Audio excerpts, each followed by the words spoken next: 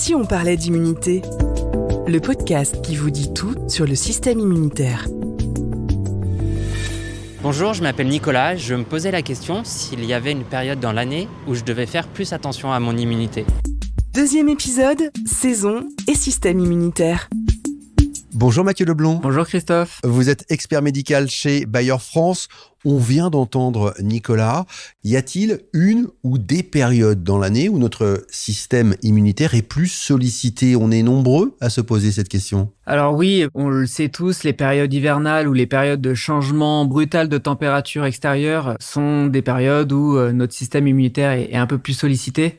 Il y a des conditions aussi qui sont réunies pour certains agents pathogènes de se reproduire, de se dupliquer pendant ces périodes-là. On a aussi pendant ces périodes-là peut-être quelques manques, notamment en vitamine D qui peuvent soutenir notre système immunitaire. Et puis on passe du temps euh, peut-être plus en intérieur, donc euh, avec une promiscuité un peu plus forte. Donc voilà, tout ça sont des conditions un peu plus favorables à ce que notre système immunitaire soit mise en danger pendant ces périodes-là. Par contre, ce qui est très important, c'est que notre système immunitaire, il a besoin d'être euh, au top tout au long de l'année.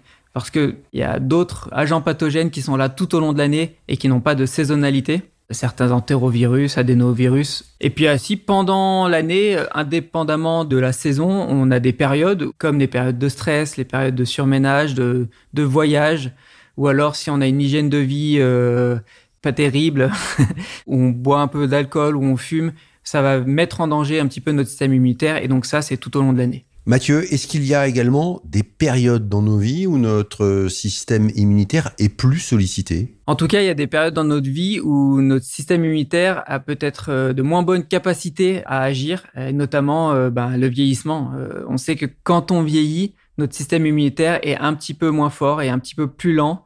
Donc c'est très important de bien l'entretenir aussi chez les personnes âgées.